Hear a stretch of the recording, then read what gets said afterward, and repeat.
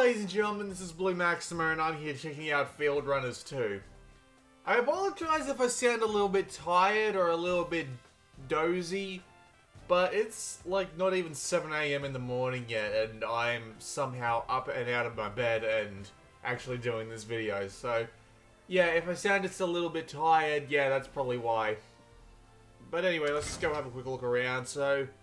You can turn on the grid. I recommend setting this to always so you can see what you can always see where you can put down some towers and you've also got music and sounds. We won't bother changing those, they're fine the way they are. We'll just hop right into the game, shall we? So, this is our world map. Fireworks going on in the background there for some reason. But nevertheless, we have a linear set of stages. There are a couple of ones that pop off, pop up to the side every now and again, but other than that, it's pretty linear. We have local and global scores for pretty much every stage in the game. I'm currently number 11 in the world, which is quite nice. I don't actually recognize anyone else on this list, but having someone who managed to get the name Amiga 500 being number 8 is actually very satisfying. You have decks of cards that give you specific rewards if you get all of them, but it doesn't really seem like much. Like, collect the Grunt deck for 1,000 coins. Yes, we'll get into that, but there are a bunch of different decks, and you have to collect all of these in order to get the entirety of the trophy set, and if we just go and have a look over here, beat every level in 24 hours on Heroic, no restarting, failing, or quitting. Haha, -ha, good fucking luck. Jesus Christ, you have no idea how hard that is. You've got the news feed over here, which really doesn't tell you much. Over here in the bottom left, we have pages that tell you about all the units, towers, and items that you found so far. Nothing too major. You've got your stars in the top right, you've got your coins in your top left. Now, the other thing about coins is that you can't actually buy them, and that turns into a bit of an issue. But we'll get into that. So, every one of these banners here is a unique level. So, if we tap on one, you can see it's a heart level, which is a survival level, and it's got three different difficulties.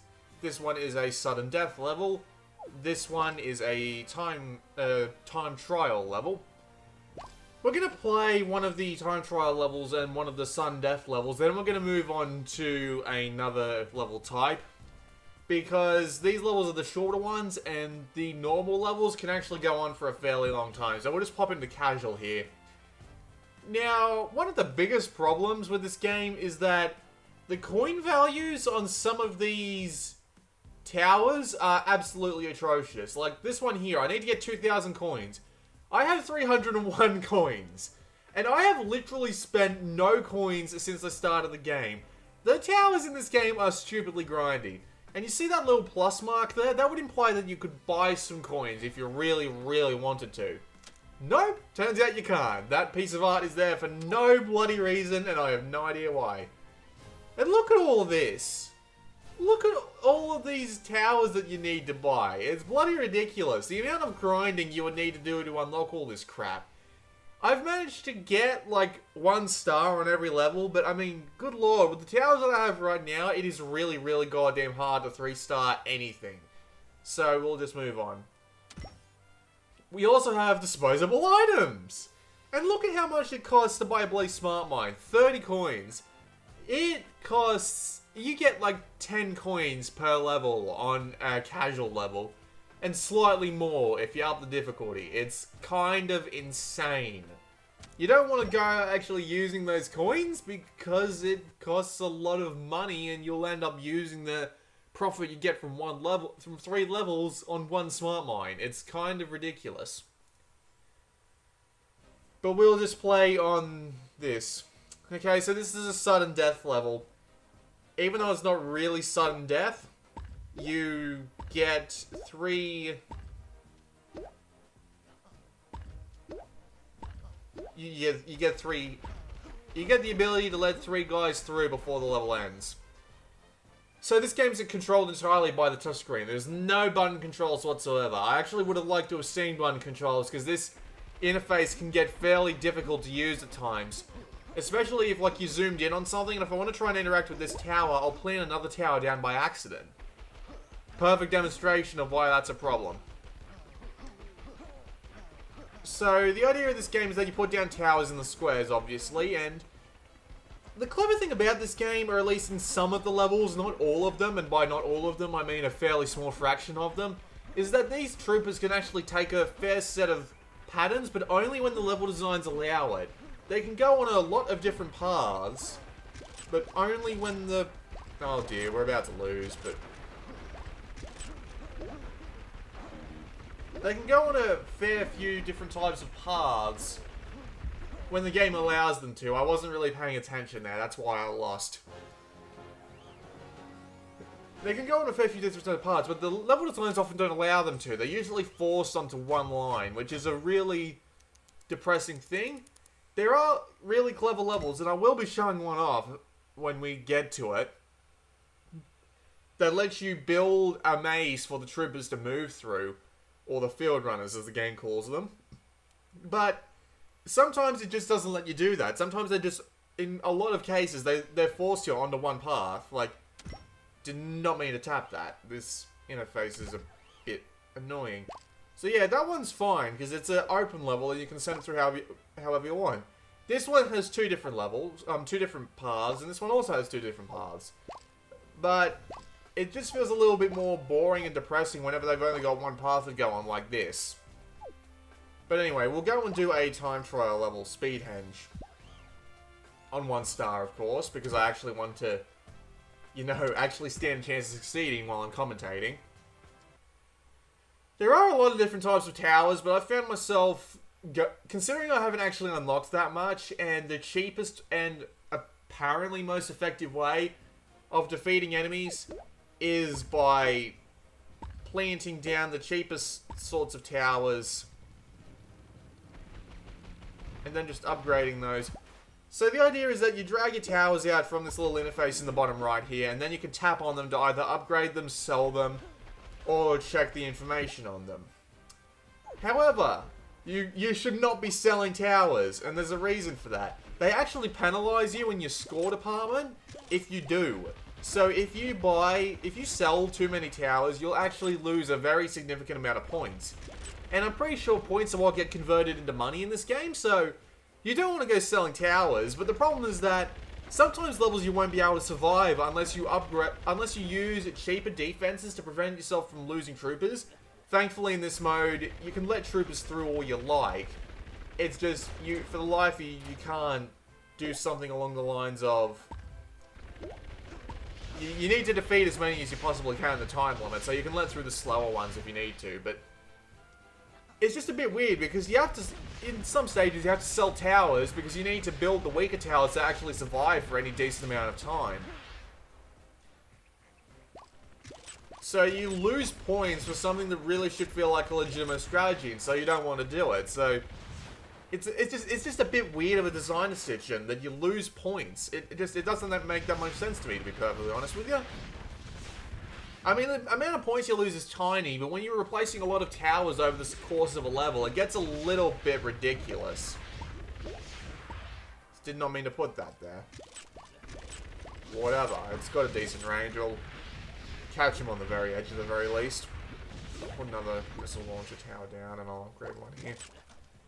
So yeah, these levels go for about a few minutes and it actually goes at a normal time frame. Like, look, it's still counting down regular seconds, even though I've got the game on fast forward mode. So you should always have the game on fast forward mode during these levels, with absolutely no exceptions. And this this touch interface is is uh, actually a pain. Just I'll just display, display the use of an item here. It basically instant kills everything. There's also a bunch of other items. I just also have to note that the tower AI is actually particularly goofy. Like, that glue tower there will tend to have the... Let's put it this way. If there's a really strong unit out in front, it will constantly fire glue at that unit, even though that unit has been slowed and will be slowed for a specific amount of time. So, it's constantly firing the one that's already slow, instead of actually firing at like the units that are going past it. The tower AI in this game can be a bit dumb, I'll put it that way. But we're almost out of time on this level. I'll just let the timer expire and then you can see how few coins you earn. I mean, the game does say that you earn more coins when you play a higher difficulty level, and that is true because it actually multiplies your score if you play on a higher difficulty, but still, it's not that much of a multiplier. Like, watch this. That is a tiny amount of coins. Again, you do get more if you play on a higher difficulty, but jeez. When you get one-tenth of the coins you need to buy the smart mine that I expended, your coin gain rate is a bit slow. I mean, considering they make you pay like 8 pounds for this, which will probably equal like anywhere between 10 and 15 bucks when this comes out in America in a couple of days, it is a bit of an odd, oddly low amount of coins to give the player. Alright, so I'll actually, um, now that I think about it, I want to do this level here, Dry Run, because it's actually a really clever level, at least in my opinion. So we'll come and do this level here.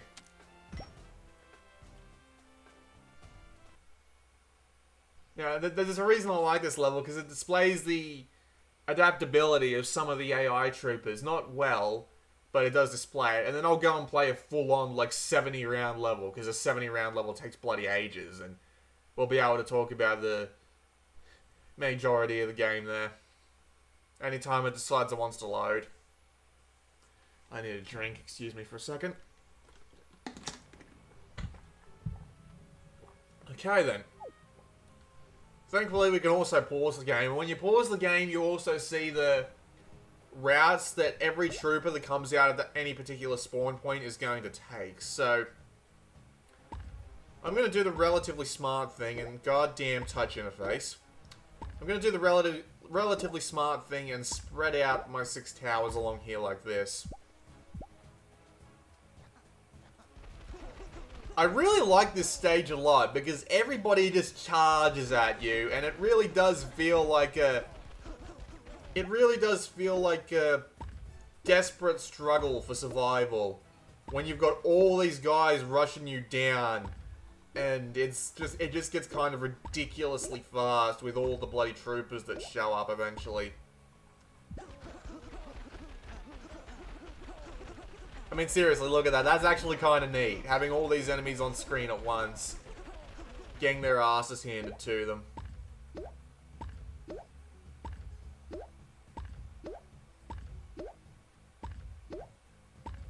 It, it, it's neat. It's just it's it's it's a neat level design, and I quite like it.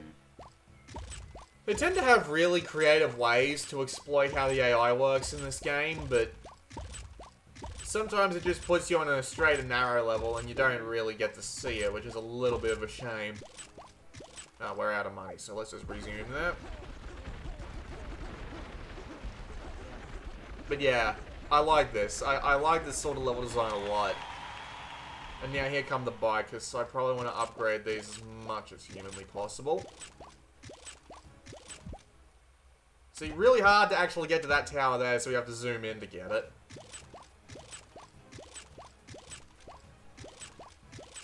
This game would be served pretty well with some button controls, but I can't imagine them being fast enough, especially at the higher difficulties.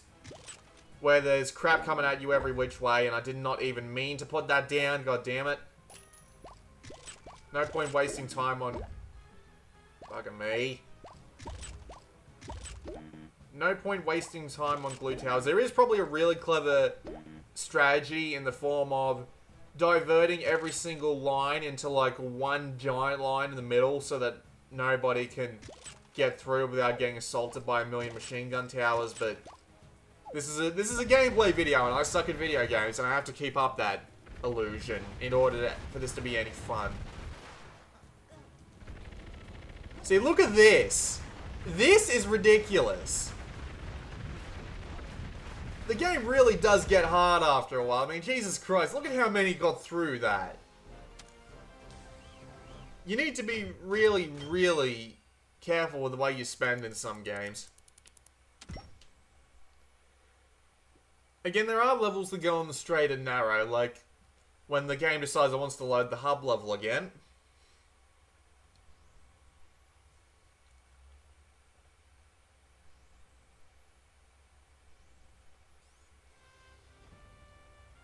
Oh, just while I'm here, I might as well mention the puzzle levels. The puzzle levels make you direct troopers into specific situations, and they are quite dull, to tell you the truth, but we'll just ignore those. So there are levels that take go on the straight and narrow, like this one here that makes you go into two, into two separate paths. There was the one back here that, that's only one path.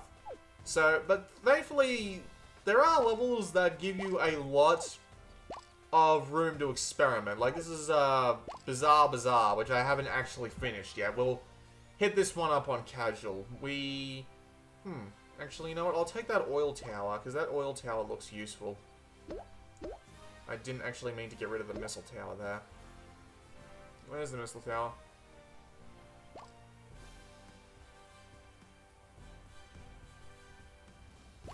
Anyway, we'll just take those along for now. And we might as well take along a couple of rewinds, just for the hell of it. I don't actually plan on playing this again. Just mainly because the coin grinding is really going to get on my ass. No, I'm not gay.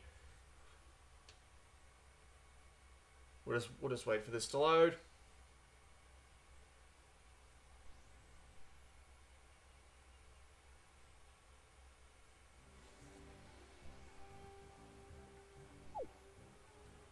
Alright, so this is actually a free roam level, which I quite like. Uh, well, not free roam in that sense, but I mean, you can actually build around this one in order to build a basic giant loop around this bridge. I mean, I, I can't exactly remember how to do it because I am terrible at this game, but we'll give it a try anyway.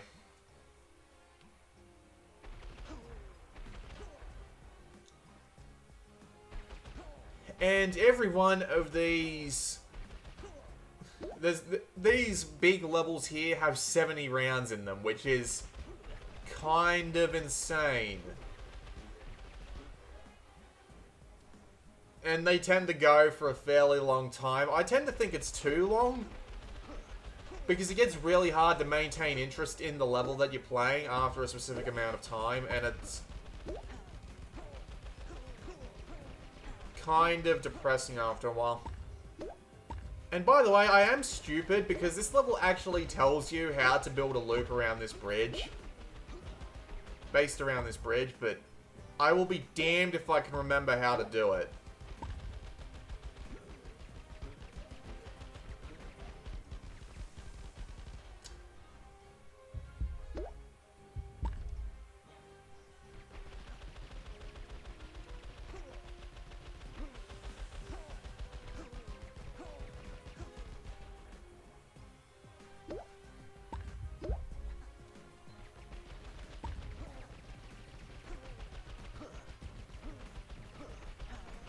But yeah, this is basically how, this portion of the game goes. It's...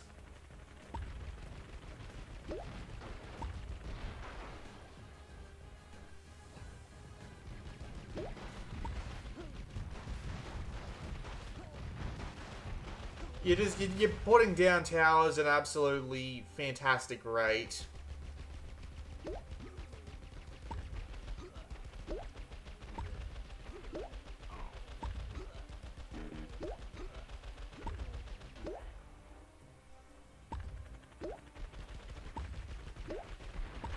In order to keep all these bastards from succeeding in their mission to screw up your shit, basically. You do also get that bomb up in the top left there that slowly fills up over the course of the game. That's an airstrike. And once it fills up completely, you can press it and basically skip a wave. But yeah, in my honest opinion, these levels tend to go for a fair bit too long and could definitely do with a bit of tweaking in order to make them a bit more palatable, let's just say.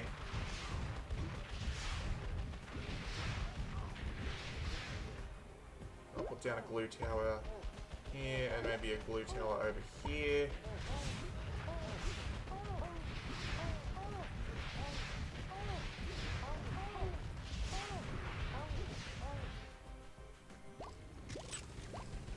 Have to start applying upgrades. Actually, I'll pause the game so I can just... No, I don't really have enough money for upgrades. That sucks. Uh, I'll upgrade these guys here because they're fairly useful in that spot.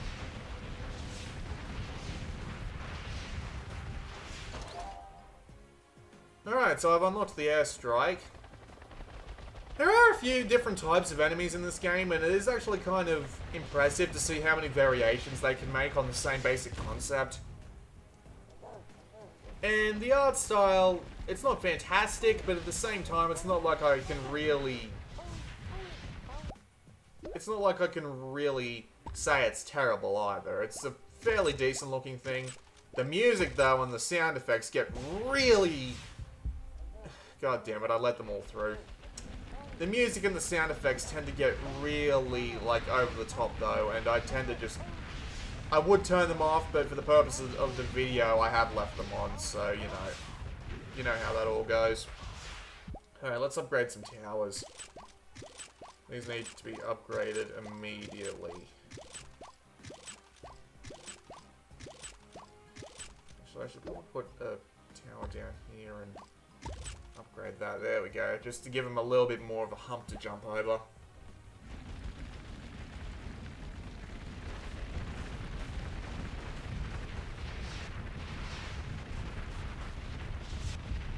Oh god, I'm about to lose. This is fantastic. Uh,